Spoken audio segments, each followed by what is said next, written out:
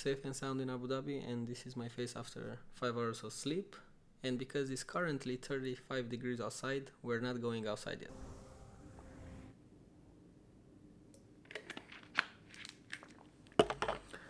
Alright, so today is the day after, and that's because yesterday I haven't filmed anything because we got some issues and we had to take care of those. So first issue was the fact that even though you're like free to travel to Abu Dhabi without a PCR test, you're supposed to do one after you're arriving because otherwise you can't get anywhere. You can go into malls, you can get to like visit stuff. So that was the first thing that we had to do because we didn't know that we need to do that. But in the same time, we can still use like the uh, facilities of the hotel and that includes the beach as well. And the second issue that we had when we arrived, we were checked in in the wrong room and then we were checked in in another room that wasn't our room. So because of this whole misunderstanding, they upgraded our room. So everybody's happy. And right now when I'm recording this video, I just posted my silently unboxing the most expensive thing that I ever bought and that's this uh, laptop right here. So if you want, you can go and check that one out as well. So that being said, this video is probably gonna be all over the place and I don't even know if I'm gonna use this footage, but while I'm waiting for my PCR result, I can do anything besides what I said, like using uh, the pool and stuff like that, like in the proximity of the hotel. And because I don't want to be boring, I'm gonna show you the view that I have in front of my eyes through a time lapse. So here it is.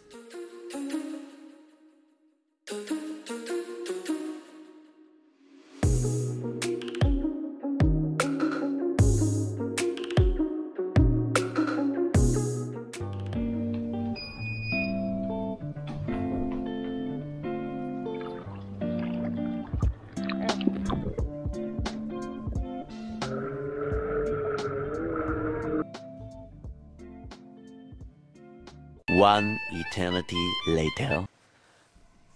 One eternity later, we both got our results and both of them are negative. So right now, we're taking a shower and then we're going into the city.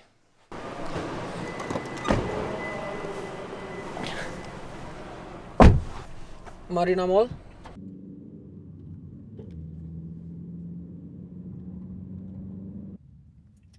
Never tried Shake Shack, so of course this was the first thing that we had to cut off from that to-do list.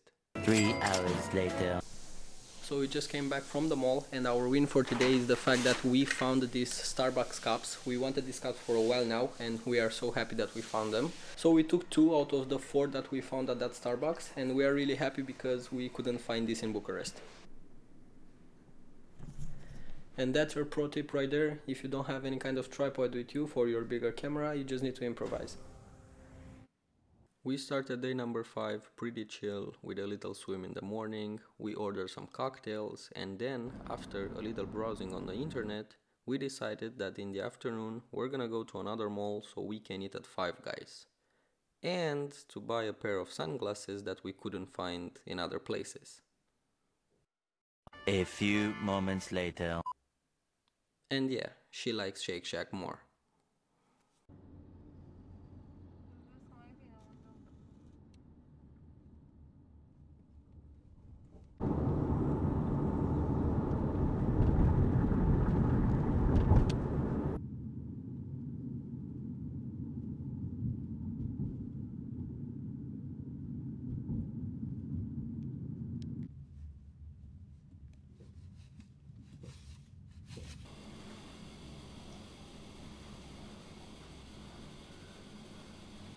We wrapped up the day with an Italian dinner and then we chilled a little more on the beach.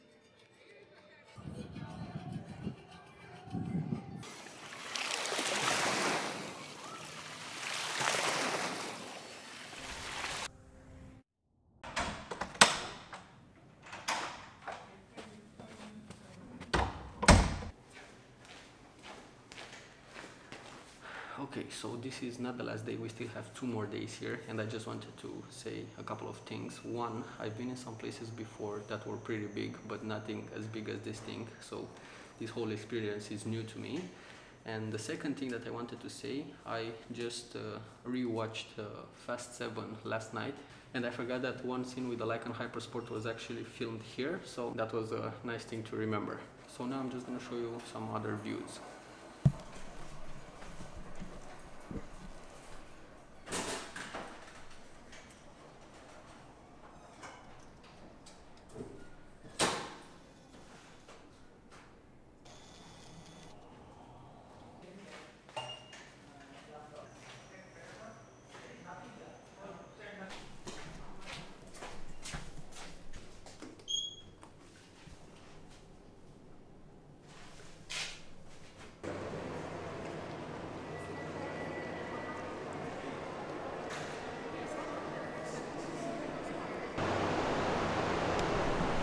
So we are staying at the Conrad Hotels that was previously named, I think, Jumeirah, if I'm not wrong.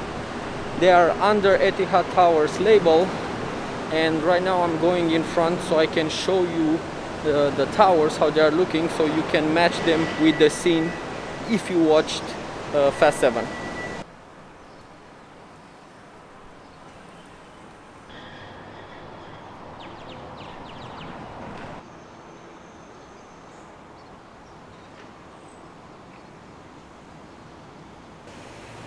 So the car fell down there somewhere and this is the location. So right now when I was explaining that thing the security guy came with me because he saw me with a camera and the microphone and he wasn't sure what I was doing. And after I explained he was like okay alright that's fine. You can use that thing but you really need to be like really careful what you're doing and what you're filming and most importantly who you're filming. So you need to like respect the privacy of people otherwise you're gonna get a fine. And another thing that I love about this place is the fact that here you have almost everything. You even have like a mini mall here so you can go and buy everything that you want. Even though you're here for traveling you can always stay only at the hotel without like going anywhere. And if that wasn't enough after I stopped talking I saw that right in front of me we have this Aston Martin dealership where you can come and buy a new car if you want and if you have the money of course. And if that Aston Martin dealership is not enough for you you have these two uh, buildings that are your neighbors and they are looking awesome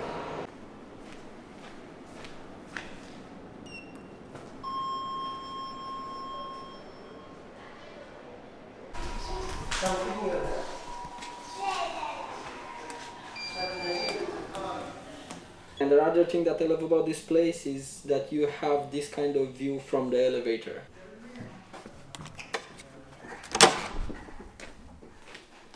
Quick outfit change, we're not going to the Grand Mosque. I'm gonna leave this camera at home. I'm gonna take the A7 III with me just to take photos and the whole video is going to be on the DJI Osmo Action so let's hope it's gonna look alright.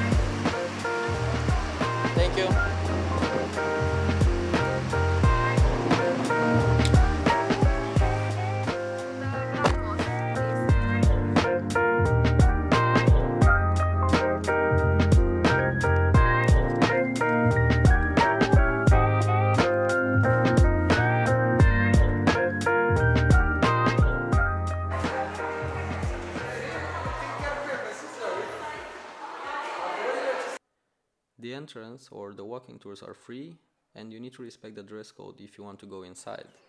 And if you're asking yourself why the Grand Mosque is special, well, the Grand Mosque is special because it is one of the largest mosques in the world. It features 82 domes, 1000 columns, 24 carat chandeliers, and the world's largest hand knotted carpet. So, yeah, it's safe to say that the Grand Mosque is an architectural work of art.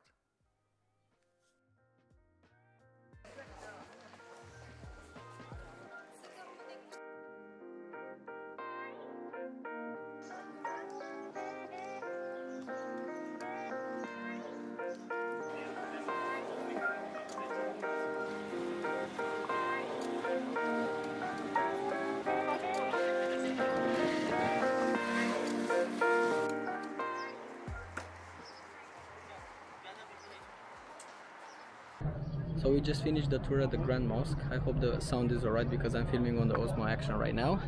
I'm pretty sweaty because it's pretty hot outside and I just wanted to tell you a couple of things. One, if you're a male or female it doesn't really matter. Don't come in shorts because you need to like cover your ankles and your legs and stuff like that. So that's the first thing. The second thing, you're not allowed to like take photos everywhere, like wherever you want. There are like photo spots where you can go and take photos. And third, be prepared because it's going to be like pretty packed.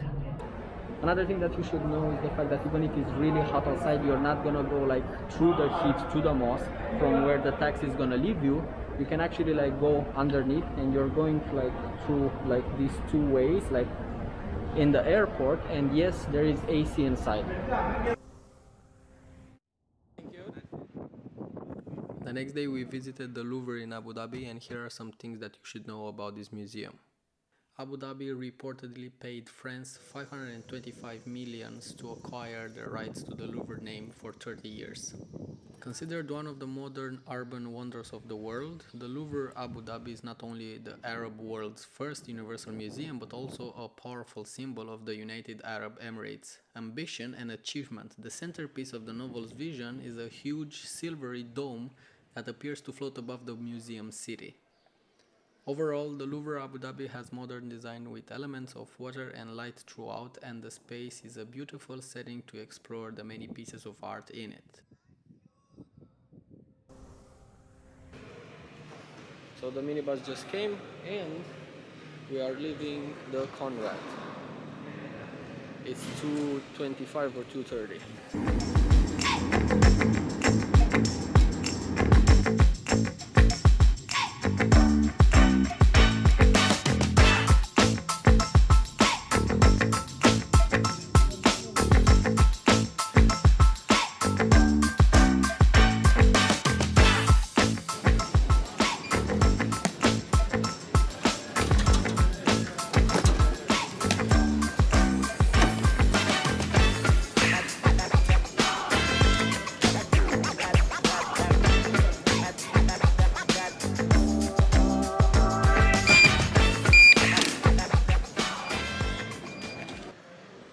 now that we finished with the first security check and we checked in our luggage, we are now getting ready to see what gate we're gonna have. Okay, so we're gonna see the gate at 455.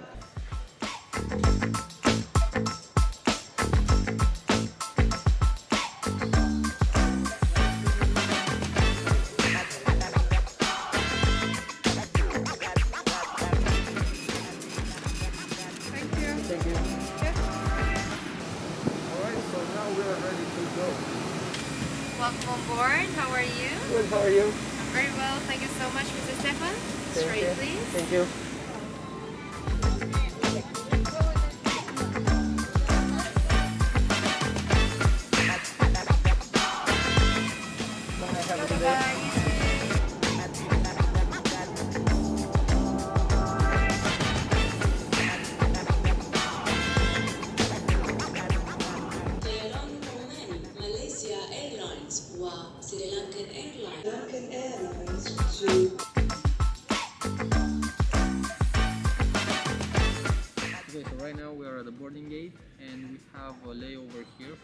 Hours and then five more hours to Bucharest. So I have a lot of time to edit.